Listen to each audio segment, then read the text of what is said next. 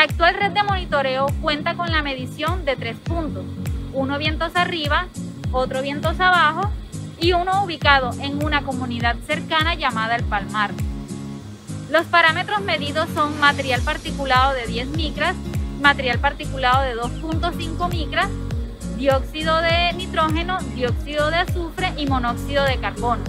Los resultados se comparan con los valores límites establecidos en la norma ambiental vigente.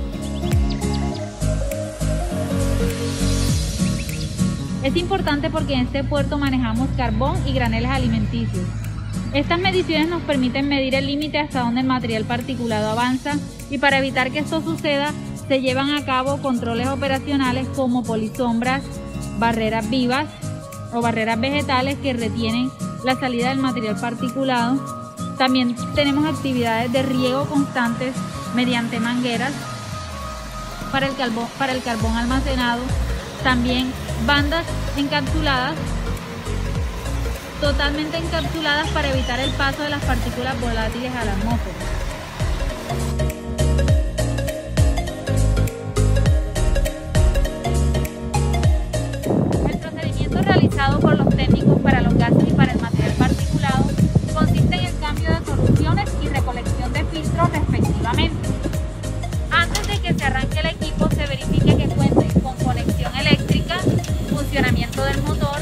Carta de flujo y orómetro.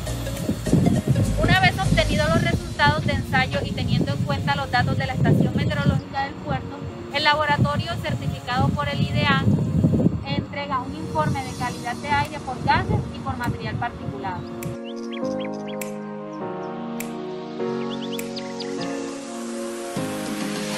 El monitoreo tarda 18 días continuos y se realiza mediante equipos especializados de medición de gases y de partículas.